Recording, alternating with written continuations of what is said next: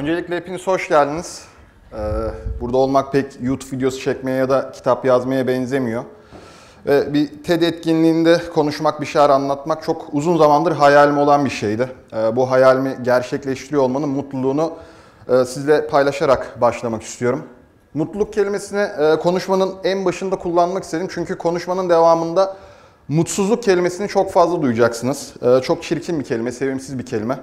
E, ama merak etmeyin kötü şeyler anlatmayacağım. Güzel şeyler anlatacağım elimden geldiğince. Sadece mutsuzluğun aslında ne kadar e, anlamlı e, ve ne kadar değerli bir duygu olduğunu size yansıtmaya çalışacağım. Ve lafı oraya doğru getireceğim yolun e, başına doğru gidiyorum müsaadenizle. İnsan hayatını elektronik cihazların yazılımlarına benzetiyorum. Çünkü zaman zaman update oluyoruz. Zaman zaman güncellemeler geliyor. Bir dönüşüm içindeyiz. Ee, takdir edersiniz ki 20'li yaşlarınızın başındaki sizle e, 40'lı yaşlarınızın başındaki siz ya da 40'lı yaşlarınızın ortasındaki siz aynı insan değilsiniz ya da olmayacaksınız. E, tabii haliyle e, bu tarz dönüşümler benim hayatımda da, bu tarz update'ler benim hayatımda da mevcut. Yani şu anda Kerem V3 müyüm, Kerem V4 müyüm, Kerem V5.2 miyim? Hani versiyon konusunda hala kafam biraz karışık ama V1 değilim. Hani birinci versiyonda değilim ona eminim.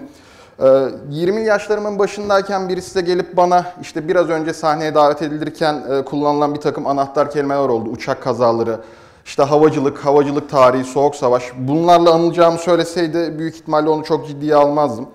Ee, bugün işte Google'a Kerem Gök yazdığınız zaman uçak kazaları mı demek istediniz diye oradan size aşağıdan bir düzeltme veriyor.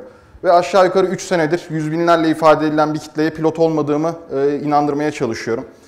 Şimdi ortada bir dönüşüm var. Ee, ortada bir e, değişiklik var ve bunun arkasındaki güçten aslında genel olarak insanın hayatındaki bu güncellemelerin, bu dönüşümün arkasındaki güçten biraz bahsedeceğim size.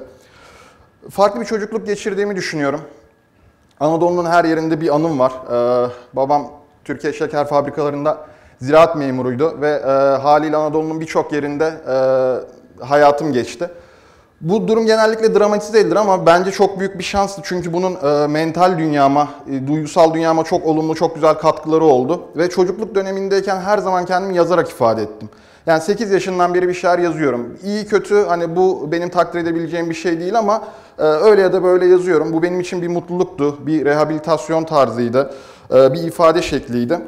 Ee, ve biraz daha yaşım ilerlediği zaman bu yazma eyleminin biraz daha ete kemiğe bürünmesi gerektiği zaman bunu otomobil tutkumla birleştirdim. Otomobilleri çok seviyorum. Eskiden daha çok seviyorum, hala çok seviyorum ama eskiden bu tabii e, çok başka bir e, boyuttaydı bende. Ee, aynı dönem tabii Türkiye'de yani bu işte lisenin e, başları, ortaokul o dönemlerde Türkiye'de yeni yeni internetin işte yaygınlaşmaya başladığı süreç.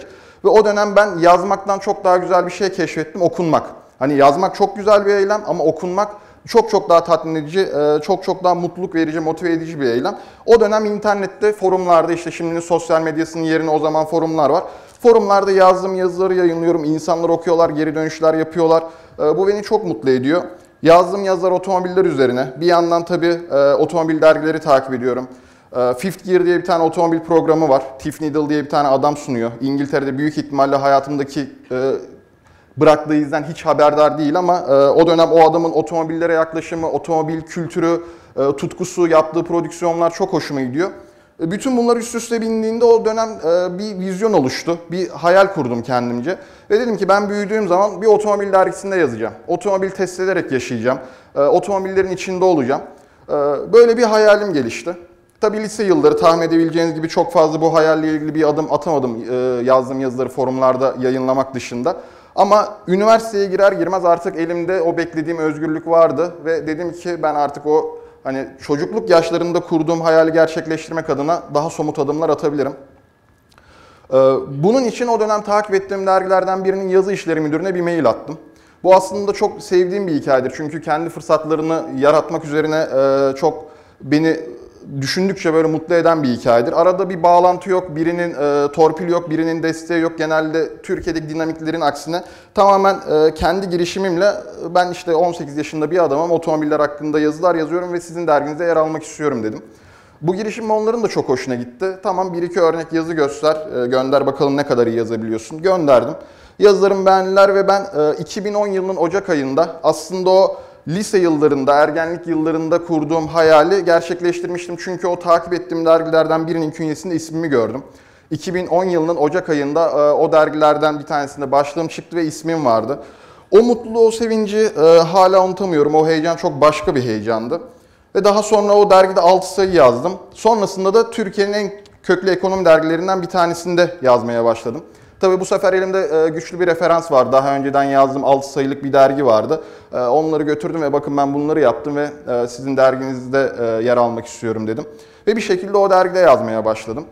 Ve çok kısa bir süre içinde aslında o çocukluk hayaline tam manasıyla koşmuştum. Çünkü otomobiller test ediyordum, lansmanlara gidiyordum.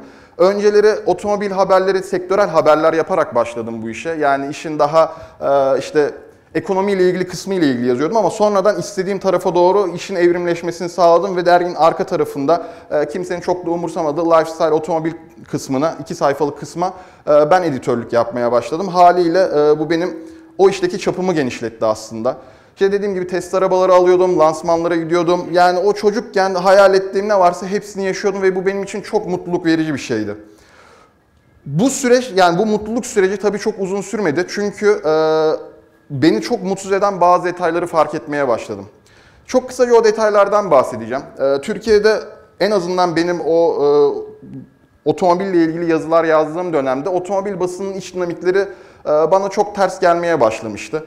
Yani sadece birilerinin e, işte kurumlarla arası iyi diye e, hiçbir e, şekilde otomobil kültürü, bilgisi ya da tutkusu benden fazla olmadığı halde ona çok daha fazla kapılar açılabiliyor. Dediğim gibi bu belki hayatın dinamikleri açısından normal bir şey olabilir ama benim için çok ters bir şeydi.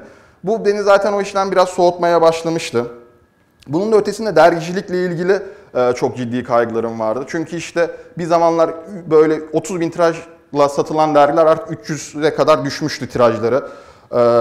Bunun da ötesinde aslında çok yalan bir dünyanın içinde olduğumu fark ettim. Ee, hiç unutmadığım bir gün var, bir Temmuz günü, 2012 yılının e, Temmuz ayında. E, bir test arabası almıştım. Yaz diye kabriyo bir test arabası aldım. Üstü açılıyor falan. E, dışarıda hava 35 derece, güneş tam tepemden vuruyor. Temmuz ayı ama ben o arabanın üstünü hiç kapatmıyorum. İşte başka bir markanın Suada'da işte bir toplantısı oluyor. Toplantıya gidiyoruz. O arabayı valeye veriyoruz. İçeride giriyoruz, yiyoruz, içiyoruz, takılıyoruz. Çıkışta vale paramıza kadar şirket ödüyor. Ama cebimde 15 lira para var. Şimdi burada bir yanlışlık var, burada bir terslik var. Defalarca Ferrari'den inip metrobüse bindim.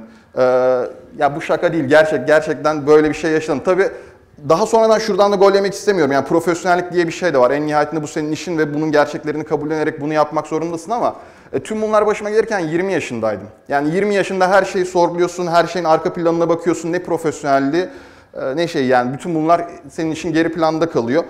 E, yani şu zamana kadar bu işin bana mutsuz, neden mutsuz hissettirdiği ile ilgili her şeyi aslında bir kenara koyun. Ee, bir şey sizi eğer mutsuz ediyorsa mutsuz ediyordur. Bunun çok fazla muhasebesine girmeye gerek yok. Ben de öyle yaptım ve bir dönüşüm içine girdiğimi hissettim aslında o işi yaparken mutsuz olmamla birlikte. Ve tabii bu sırada medya sektörü de yani medyanın bütün dinamikleri de değişiyordu aslında. Ee, bir arayış içindeyken İspanya'dan, Barcelona'dan bir lansman teklifi aldım. Bir markanın e, Barcelona'da bir modelinin dünya premieri vardı. E, oraya giden gidecek olan Türkiye'deki gazetecilerden bir tanesiydim. E, artık ne zamandır uçağa binmiyorsam Barcelona'ya giderken bir uçak yolculuğu yaptım ve uçak yolculuğundan çok etkilendim. Tam da işte bir dönüşüm süreci içindeyim, bir arayış içindeyim falan.